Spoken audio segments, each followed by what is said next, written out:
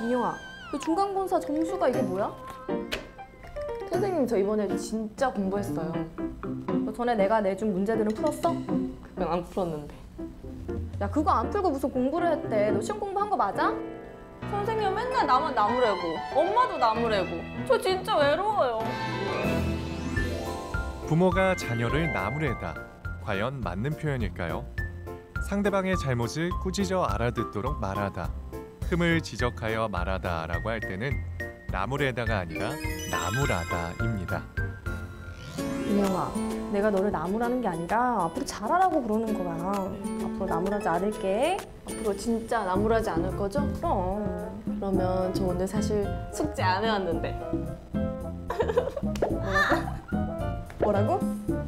어, 왜요? 안 나무라면서요.